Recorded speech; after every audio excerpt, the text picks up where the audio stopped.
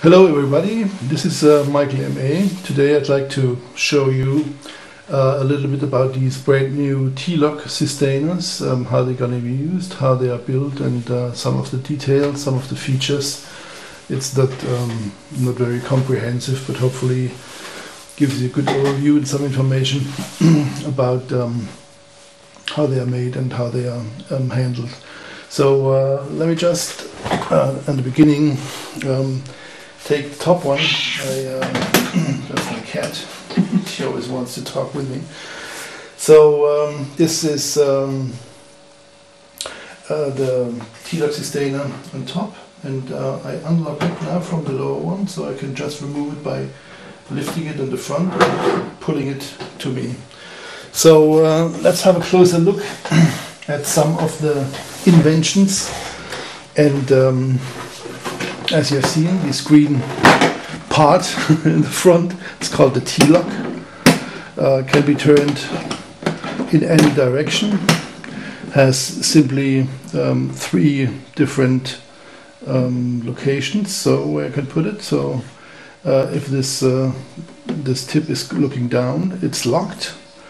If I have one on top of it, I can interlock it by connecting this notch in here with that, or the screw with that notch in here. And if I turn it um, 180 degree, I can open the Systainer. I just put it in the other hand. So like this. Now we have a look inside and we see some of the um, uh, many reinforcements they made over here uh, in the in the rear side, on the side, and uh, mostly in the lid. The lid is the most important part because this one is taking the weight of uh, the Systainers, and so um, um, they used uh, CAD-CAM methods to um, relieve the strains in here and put uh, reinforcements were required, and uh, it looks like a pretty good pretty good job because it's very very sturdy. You can you know there's no way to bend it if you have it in your hand. Um, it's a very uh, very robust and sturdy part. So the interlock mechanism to the other T-LOC Systainer is um, uh, made out of these groove behind the barrel uh, the grip. So if you look uh, just hold it a little bit different so you can see that right now you see all these reinforcements in here. This is uh, to form this groove. And uh, if I turn it upside down, there is a two small uh, notches over here. Actually, they are pretty large. Uh, and so they are, I would say, an inch in width, one, yeah, one a quarter inch.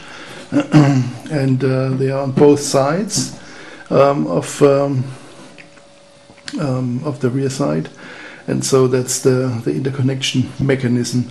It's also the foot for the for the device, and it's um, um, fairly great in, in uh, um, comparison to the to the older one. Let me just take uh, uh, the older Systainer in uh, in direct relationship. So you see this.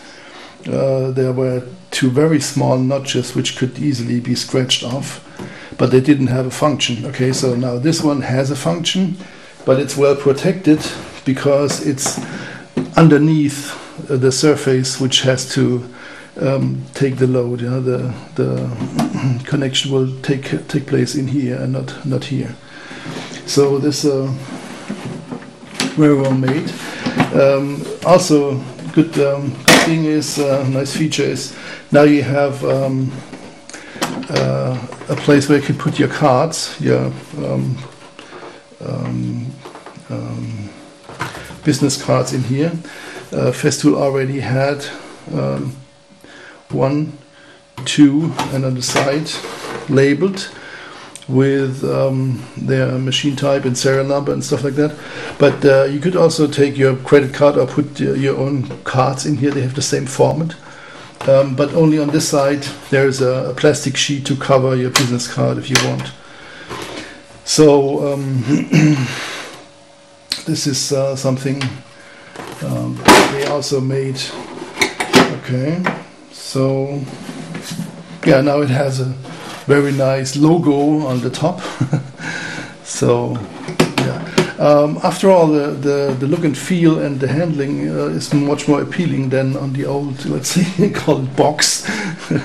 it's a little bit more rounded and soft line, so it's uh, yeah, it's nice to handle. And uh, and the very good uh, feature is uh, what I want to show you right now, um, because you only need one hand to open it, and um, if it's connected like this, you can hold it. If I need to go into the lower one, I simply turn this uh, T-LOC to the upper position and can oops, and can open it. So that's the, the nice and easy way for the future to um, to get to the parts which are right in in between any of those 10 Systainers.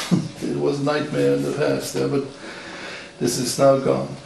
So this is a very nice thing. so to connect it, uh, I just turn it this way, and then I can lift it without problems.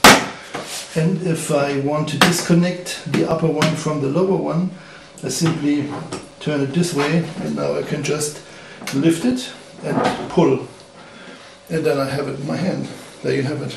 Nice thing. So um, also some some colleagues um, uh, had um, the question if uh, old Systatus would fit. Well, I have uh, I've done some tests, at least the Systatus from the last two or three years. This is now from my T15. Okay, so which does not have these small notch in the front, but it it fits after all fine without problems, just in here. So and um, I can easily close the lid so there is no nothing to do, no pressure. After all, it fits very nicely. So, and I did the same test with my Carvex, works well. And um, well, I did it with the LS130, uh, that linear sander. and this is one of those um, in inlays which um, uh, is much deeper than the, the newer one, and that doesn't fit. So and maybe you have to have to cut it or whatever. But uh, most important thing is uh, those Systainers from the last two or three years. They will fit perfectly. Okay, so uh, let me now show you how to disconnect the news from the old one. Um, since there is no way to put your finger in here in the front, um, it's easy to put it at the rear. So you just open the rear and then you just push it to the back and then you can just easily lift it away. So no problem at all. Okay, so the same in reverse in order to connect it with the flex and, uh, and you go. So pretty easy. Well, um, one drawback is uh, that you cannot put the new T-LOCs anywhere in the stack, so you, they have always to be on top of the classics, and um, therefore this is maybe a small drawback. But uh, after all, uh, this new functionality um, pays off uh, and saves lots of time and grief and lots of fingernails as well. You know, so. I don't know how often I broke mine. Um, even yeah, just when uh, when the Systainers were uh, brand new. So hopefully I covered uh, all important um, uh, things in that uh, short video introduction. Um, and uh, yeah, hope you like it and have some good information out of it. Um, yeah, have a good time now, and yeah, see you by soon.